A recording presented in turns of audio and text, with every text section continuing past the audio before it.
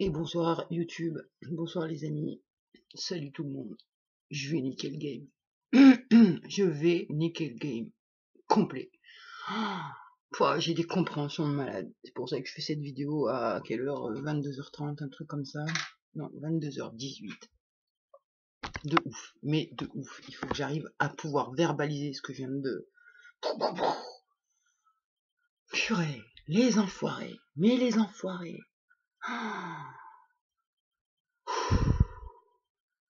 J'ai compris. Un putain de déclencheur. Faut que je prenne dans l'ordre. Donc, j'étais en train de bosser hein, sur moi par rapport à l'ange, la personne que j'appelle l'ange. Je l'ai eu au téléphone aujourd'hui. Il est en mode victime. Et direct, je lui ai mal parlé, quoi. Enfin, mal parlé. Je l'ai bousculé, euh, tout en lui disant, excuse-moi, je te bouscule, euh, et euh, fais pas ta victime, sinon je vais être obligé de jouer ton rôle de bourreau, et du coup, on est dans le triangle, ça craint. Et donc, j'essaie de discuter avec, et il est en blocage total, il veut pas bosser sur lui. Alors, pas qu'il veut, pas, mais c'est qu'il a certainement pas les ressources, les moyens, intérieur, et du coup, en effet miroir, je pense qu'il a à peu près le même problème que moi. Il s'est fait coincer et niquer par la religion, et donc il est enfermé dans son truc, et donc il peut pas bosser sur lui. Je suis désolé, Ange, de parler de toi comme ça, mais là je viens de soulever du lourd, donc... Euh... Waouh Donc j'étais en train de réfléchir euh, sur cette relation, me disant putain, mais c'est pas vrai quoi. Donc premier, première observation, j'observe le triangle. Et je me dis non, je veux pas faire le bourreau, putain, il est en mode sauveur, je l'ai pas vu arriver, et là il fait la victime, et, et, là il, me contraint de faire le, le bourreau, mais je veux pas jouer à ça. Et donc euh, la blessure c'est l'abandon, la dépendance affective. Et je me dis mais merde quoi, putain, ça fait un siècle que je bosse dessus, ça devrait être réglé. Et là je descends d'un cran. Parce que c'est ça, il y a plusieurs euh, crans, hein, l'effet miroir et tout ça.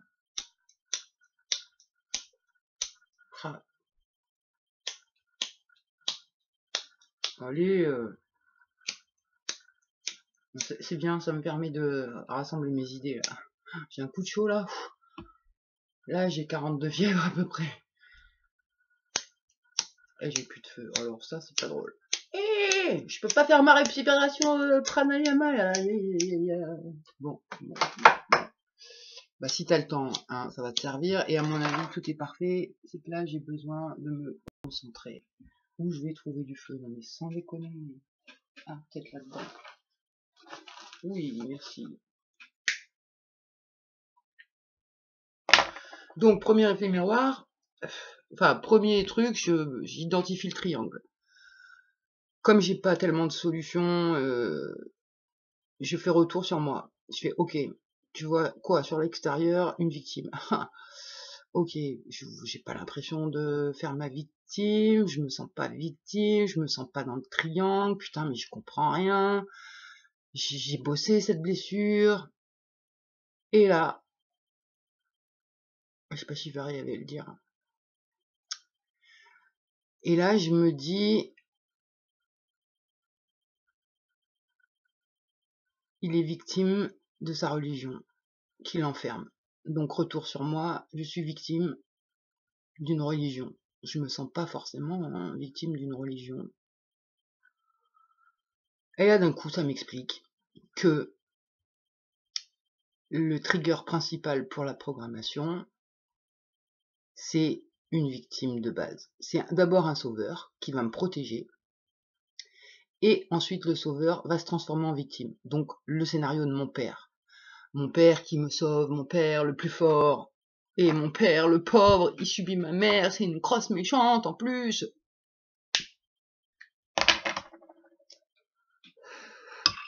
Petit peu de compote. Et donc, je vois le schéma du père. Et je me dis, l'ange, il a pas cette vibe. Enfin,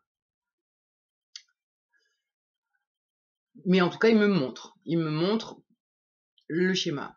Donc je me dis, ok, le père, il fait le sauveur, après il fait la victime. Et quand j'ai parlé avec l'ange et que je me suis surprise à le bousculer un peu, ça m'a tilté, enfin, j'ai trouvé ça étrange que je que j'agisse comme ça. Et ça, ça m'a posé question. Et, du coup, je lui ai dit, je lui ai dit, euh, t'as pas le charisme du pervers, tu vas te faire dégommer par moi. Enfin, par moi, par une de mes parts. Et du coup, donc je lui parle sèchement, j'aime pas que je lui parle sèchement parce que bah, c'est comme si je voulais faire un, le secouer, lui faire un électrochoc, mais en même temps, je vois bien que ça, ça remue quelque chose chez moi. Donc, euh, donc je fais retour sur moi et je vois en fait que j'ai deux modes de fonctionnement.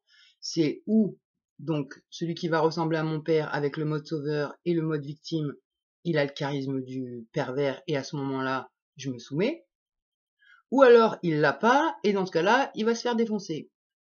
Donc je vois ça puis bah, j'essaye de descendre encore, de descendre encore, de me dire putain, ok, s'il n'y a pas d'autre, si vraiment euh, c'est mon miroir, putain, qu'est-ce qu'il me montre? Qu'est-ce qu'il me montre que je vois pas dans moi?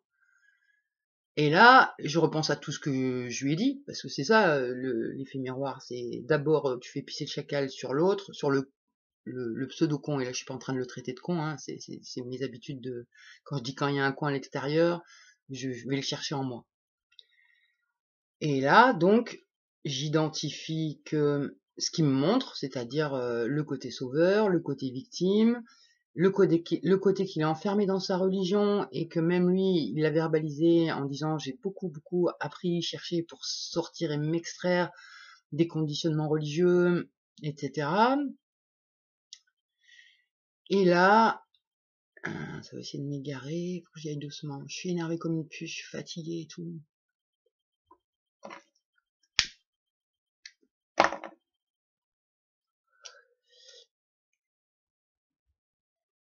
Et donc je regarde l'ange et j'essaye de d'abord déterminer ce que je vois chez lui. Et qu'est-ce que je vois chez lui Je vois une victime et je vois même plus que ça. Je vois la personne qui ne veut pas euh, bosser sur lui et qui préfère être martyr. Et là, pas, ça m'éclate la gueule et je me dis, hein, c'est qui le martyr dans la Bible? Bah c'est Jésus. Voilà. Et donc là, c'est en train de faire des liens dans moi en me disant, eh ben en fait c'est ça, ils, ils, ils ont transposé l'amour, de la petite Sandrine qu'avait qu'avait la petite Sandrine pour Jésus, ils l'ont transposé sur le Père. Donc le Père ensuite, eh ben, il, a vraiment ce, ce truc de martyr aussi, mais sauf que c'est un sauveur et que c'est un gros enculé. Pardon, je suis vulgaire, mais euh, je suis à cran et physiquement, je suis très mal. Et ça me fait du bien de cracher mon venin. Donc, à travers l'effet miroir, je me rends compte que mes deux systèmes qui étaient en guerre, parce que dans un système, il y a la petite Sandrine qui est fan de Jésus et qui aime Dieu et tout et tout. De l'autre côté, il y a la colonie et euh, c'est anti-religion à fond. Et après, je comprends un truc, mais que je comprends encore pas parce que là, j'arrive pas à le sortir.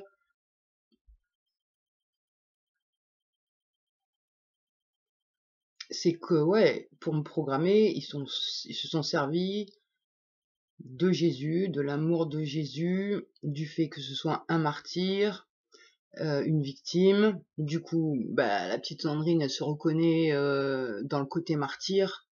Et, et donc, ben, on n'a pas envie euh, comment dire on fait pas ce qu'on n'aimerait pas qu'on fasse, mais on n'a pas envie de voir l'autre souffrir comme soi, ou il y, a, y a une idée comme ça, quoi. Donc ça, ça va déclencher que s'il y a une victime, et eh ben vite, faut la sauver.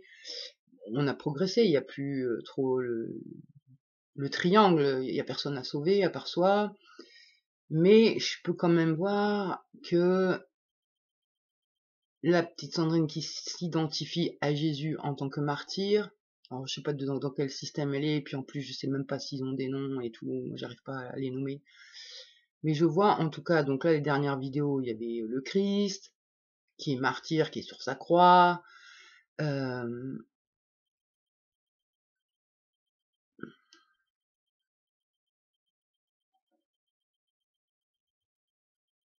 Ouais, j'y arrive plus là.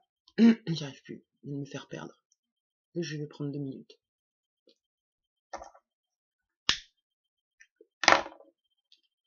Donc grâce à l'ange, qui est un humain, je vois le martyr et ça m'énerve. Pourquoi? Parce que ça déclenche et en même temps, comme il n'a pas le charisme, il va se faire défoncer. S'il avait eu le charisme, on se serait soumis. Et c'est pour ça que j'ai pu être agressive un petit peu avec lui, même en essayant de mesurer et de, maîtriser. Et, euh, et c'est ça, en fait, je me rends compte que toutes les sources d'amour que je pouvais avoir dans moi, que ce soit à nous, que ce soit par rapport à ma mère ou par rapport à Jésus, ça a tout été attrapé, matrixé et tourné sur le Père mon Sauveur. Du coup, c'est moi qui deviens le martyr euh, parce que bah, pour être sauvé, protégé, je suis obligé de me soumettre et de subir et de subir. Et quelque part, c'est presque légitime vu que Jésus, lui, il a subi aussi. Et mon père, c'est ce qu'il me disait, l'amour est plus fort que tout. Moi, je subis bien ta mère, euh, donc euh, tu dois bien supporter ce que je te fais aussi. Et donc, c'est ça qui va me faire déclencher les parts de la colonie.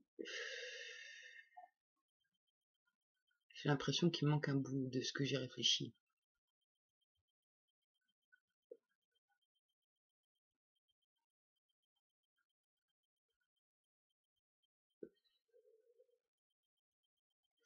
Donc, si je reprends mon effet miroir, ce que je pense de cette personne, c'est qu'il est enfermé euh, dans sa religion et dans ses croyances euh, inconscientes, même qu'il ait fait un gros travail pour euh, se déconditionner.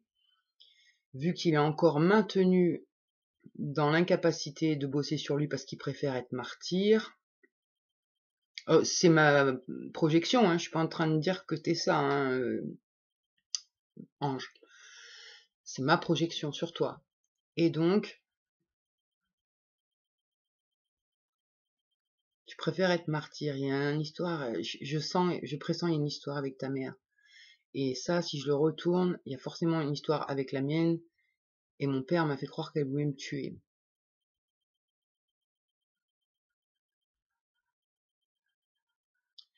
Et donc, si je vois dans toi que tu veux pas évoluer parce que t'es martyr, c'est qu'à l'intérieur de moi, il y a un truc qui bloque parce qu'il préfère être dans le rôle du martyr.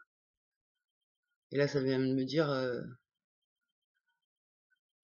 bah ouais, parce que euh, ça légitime, si je suis martyr, je subis et ça légitime tous les horreurs que j'ai dû faire pour sauver ma peau.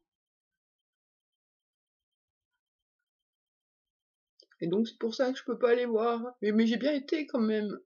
Attends.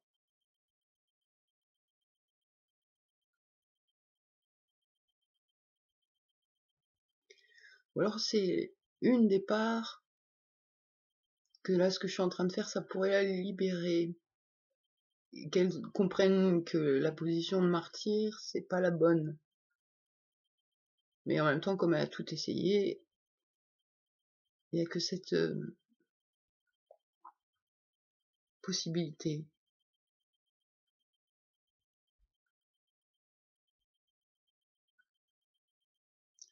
Ça me brasse dedans, là, j'essaye de goûter ce qui se passe.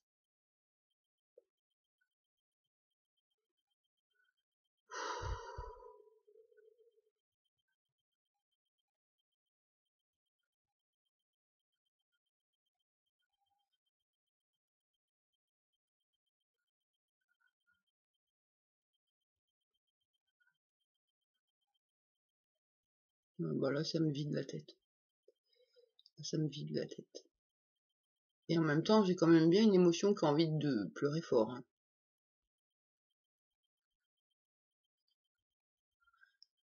Donc si j'essaye de résumer,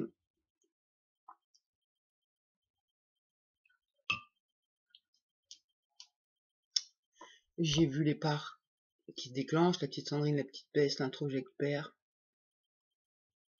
Et si ça se trouve, il doit y avoir un introjecte mère, parce que pour que ça mette la pression euh, ah bah oui, la petite peste représente Anouk, l'introjecte mère, l'introjecte père c'est le sauveur,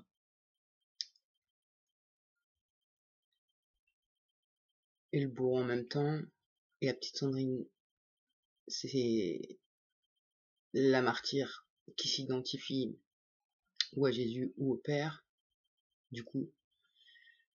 Et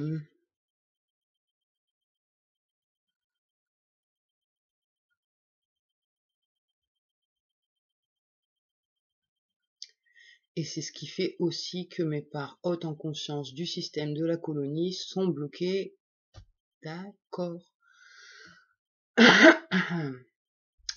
ça me renvoie, ça me dit euh, que justement euh, ce que je pressentais tout à l'heure sur mes parts hautes, qui sont très spirituelles et que je disais elles sont pas connectées au divin, c'est parce que ça a été matrixé et bien cloisonné pour rester martyr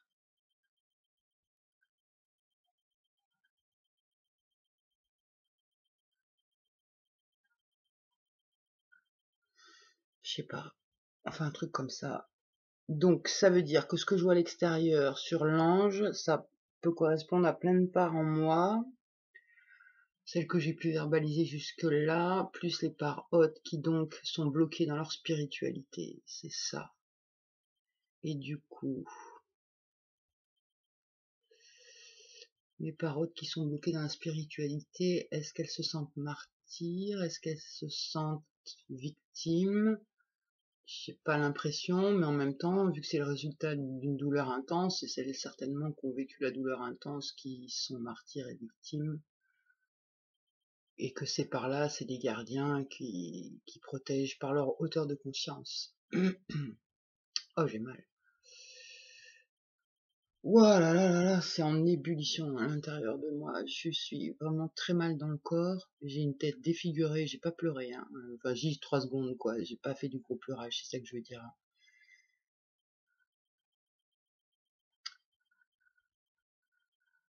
Mais j'ai confiance parce que je pense que c'est la guérison. Et la guérison, elle fait mal.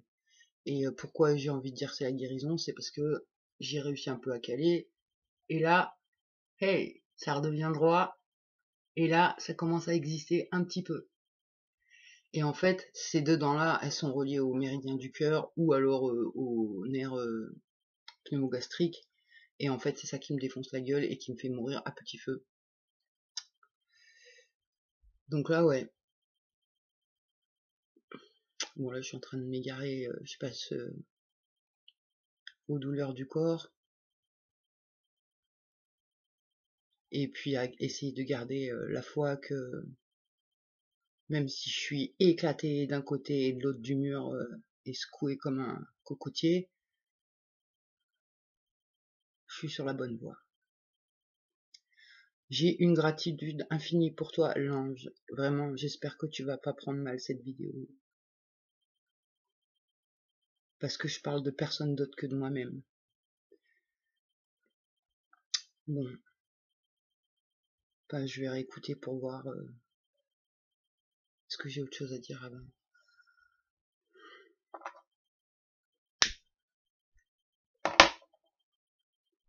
J'avais capté des trucs aussi euh, avant d'en arriver là, mais j'arrive pas à m'en rappeler tout de suite.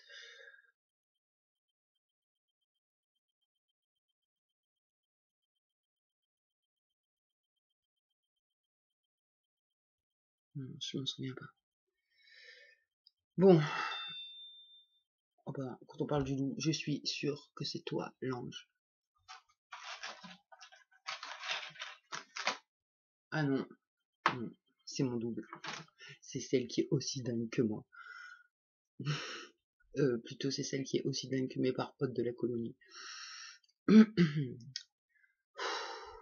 quelle aventure, mais quelle aventure de ouf. Je suis dans un état Là, je vais me poser, je vais regarder cette vidéo, voir ce que je peux intégrer et comprendre de plus. Je vais prendre un petit Xanax et je vais aller me coucher. Et demain est un autre jour. Et il y a un truc qui me dit dans moi, c'est hyper prétentieux, mais je vais quand même le dire. Si je contiens l'humanité et que je fais évoluer toutes mes parts, c'est toute l'humanité qui évolue. Et chaque être qui, tous on contient l'humanité. Chaque être qui bosse sur lui et qui fait avancer sa structure bosse pour l'humanité. Et quelque part, le dieu de l'amour, ah, il s'est fait massacrer la gueule en fait hein, par les forces obscures. Et en faisant le travail sur soi et en soignant le cœur, eh ben on soigne Dieu. Et une fois qu'on aura guéri Dieu, là l'amour est plus fort que tout. Et là, le côté obscur, il va se faire éclater la gueule. Bon, ça me fait plaisir de penser ça. Pour l'instant, c'est moi qui me, fais, éclater la gueule. Bon, allez, j'arrête parce que là, ça fait beaucoup et euh, ah, j'ai l'impression qu'elle est violente cette vidéo quand même. Force à tous et suite au prochain épisode. Bonne nuit les petits, non les amis.